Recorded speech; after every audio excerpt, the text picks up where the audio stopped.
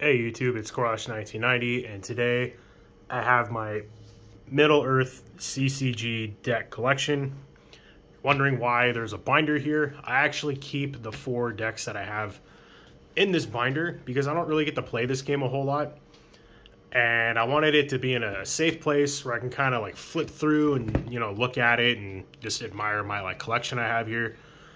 Um, I will say I'm really glad I got into this game when I did, which is about a, about two years ago.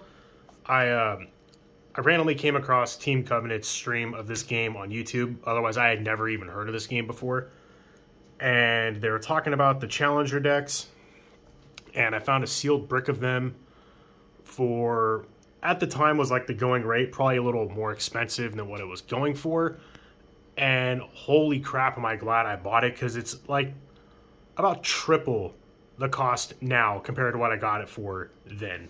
And these decks are a lot, mainly like challenger deck cards, though I did buy some like random bulk collections after getting the challenger decks that were like unlimited and limited cards and the decks in here aren't they're not there's not like a whole lot of depth to them um, I didn't want to go too crazy with this game. I just like playing it in a more simpler version, and I thought it was a great solo playing game. Which this game is very fun, just playing solo. Which was again one of the reasons why I bought into this game in the first place too. So the decks I have are all based on. I have two wizard decks and two Nazgul decks, and there's just going to be glares on the pages, so you're just going to have to deal with that. But uh, I have it set up with the starting company, and then from there it goes into the rest of the deck. And this is my Radagast, like elves, like aggro sort of a deck. And the whole point of this deck is you want to cycle through your deck as fast as possible, scoring all the marshaling points that you need. And you, you want to you want to be able to call a council before your opponent does. And the way you do that is you travel a lot and you travel as far as you can to get a bunch of forest icons and just draw a ton of cards. That's kind of Radagast's like shtick. So you want to be drawing just a crap ton of cards every turn. And I have enough marshaling points in here to kind of get like the bare minimum, along with certain enemies that you'll be defeating. And it's just that a lot of like elven themed cards. And I really like Doors of Night, especially, gosh, look at this old artwork of Doors of Night. I love it. This the arc in this game is just mind blowing. Um, this is one of my favorite pictures in the game, though. This right here, as I knock the camera, this right here is my favorite. This that is this high fantasy to the max. It's also like a pretty good card, especially with uh, this. But um, they all have like again, they all have like a like a good good side of the deck theme, and then a theme to the bad side of the deck.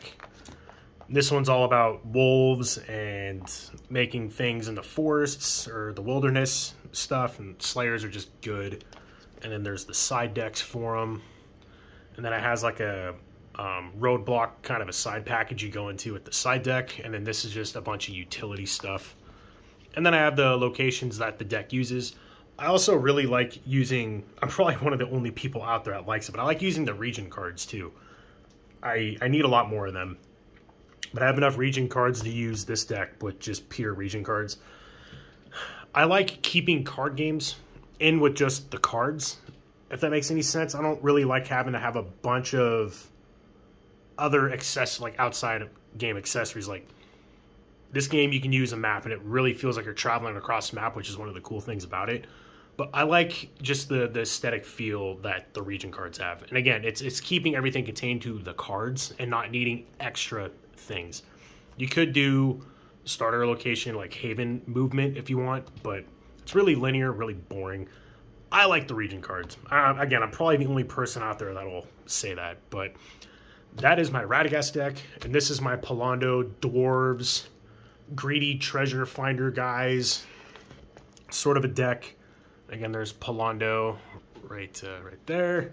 Yeah, and it's just it's like a dwarven theme, and I try to theme the sleeves around the color of the stuff too. So like dwarves I thought were fitting for these Dragon Shield like copper sleeves. And yeah, it's just a bunch of stuff to, um, you have all your like horde items, which can be found where dragons are basically, and a lot of ways to get around the automatic dragon attacks that happen at those locations. So Those locations are pretty dangerous on their on their own. They're dragons can just straight up kill your characters.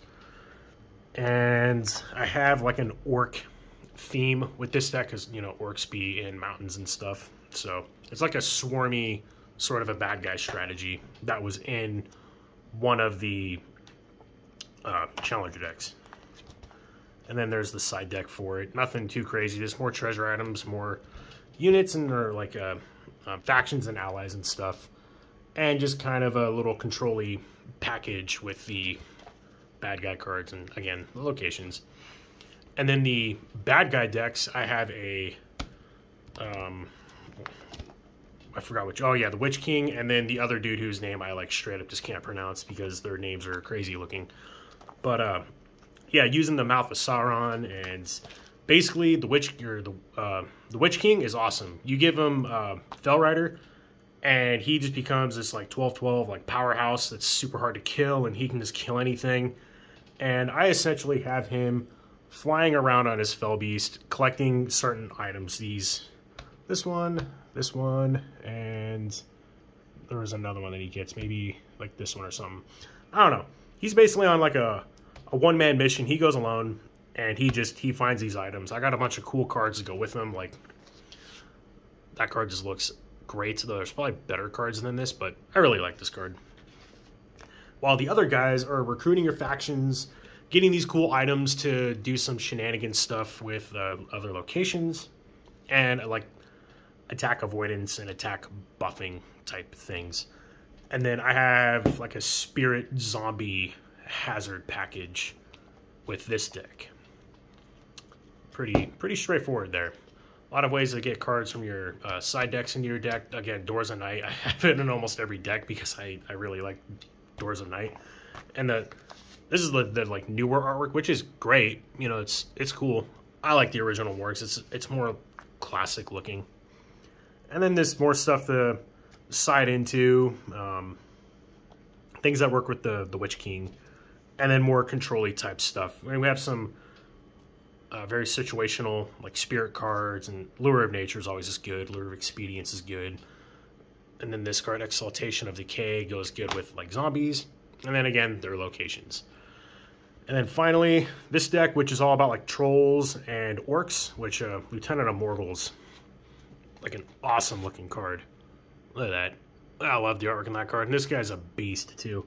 This kind of kills anything. Yeah, what's this dude? Uh, uh, Dwar, that's it. I was getting him confused with uh, Hoarmûrath or whatever the heck that thing's name is. But Dwar is good because he essentially buffs the like attack of your other guys. Yeah, the prowess and body. So he makes your dudes kill more when he is at a Darkhaven, and then you put Bade the Rule on him, because why not? And then I play a bunch of items. Man, really get the glare off. Yeah, I play a bunch of items to like buff their attack. These are all worth points, you know. Worth points, good with attacking. Again, same with these. You can avoid some stuff with those. And yeah, it's this is like a very aggressive aggro type deck. It's like the Radagast version for my bad guy decks. And then these use a like dragon drake package, which is cool because some of the artwork on these is just excellent. Quinton Hoover, um, amazing artist. It's unfortunate the guy passed away. And yeah, more dragon themed cards. And then this going into the side deck, we have some additional ways to score points. Usually what happens in these decks anyway. And then we have like a little roadblock package with some dragon support. And then to end things off, which I have just enough sleeves in this binder to house these two, uh, four decks. But again, we have the locations. This one uses some different locations that my other bad guy deck doesn't. And yeah, it's just, I love pulling this binder out every now and then and just like flipping through the pages in here and just kind of admiring the awesomeness that is this game. I want, like, I have two other decks. Like, I don't have a Saruman deck and I don't have a Gandalf deck. I do want to make, I want a Gandalf deck to be like my main deck that I play solo, where these, I could just kind of pull them all out and have like a four-way game and it'd be a lot of fun. But um, I want to make a Gandalf solo deck where I'm making Aragorn the king and Arwen the queen and all that cool stuff. Maybe even try to force like a dunk in the ring kind of a package in there, and making it really movie thematic. And I'm slowly trying to get singles for that. I'm missing just a couple cards, but I'm not in a rush, so it's kind of on the back burner for some of my other games. And I don't have a Saruman deck, so I thought it was just really bland. Like you, you do the whole white tree sapling thing, you know, that's great. And he finds a Palantir and he stays at Isengard and he just abuses the Palantir while your hobbits go running around scoring points. I don't know. I just it didn't really have anything going for me. I like being more aggressive more adventurous in this game. Definitely more adventurous in this game, uh, being a little more, a little more risky. And I think all, all four of these decks, decks, especially, especially Radagast, do that quite well. Eventually, I want to get a Galadriel for my starting characters and try and work that in. This deck's a little risky playing just two starting characters, but I mean, they're both they're both hard to kill, but still. I digress. Anyway, that is my Middle Earth deck collection. Um, thank you all for watching. Um, if you have any advice on, you know, stuff to put the, you know, put in decks, I don't know a whole, whole lot about this game unlike other games that I cover and play quite often. So I'm always down to hear advice on that. And I'm thinking tomorrow will be my Jyhad deck collection. As I mentioned, that deck collection is entirely made up of cards from the first booster set. In fact, from just one booster box and one sealed box of starter decks, like a brick of starter decks. And that was all I purchased to make the decks that I have. Anyway, uh, thank you all for watching. Again, I'm loving all the comments that I've been getting recently. Uh, it's been cool interacting with just people I don't know on here and just talking about games and stuff. I really appreciate it. Anyway, I'll catch you all next time.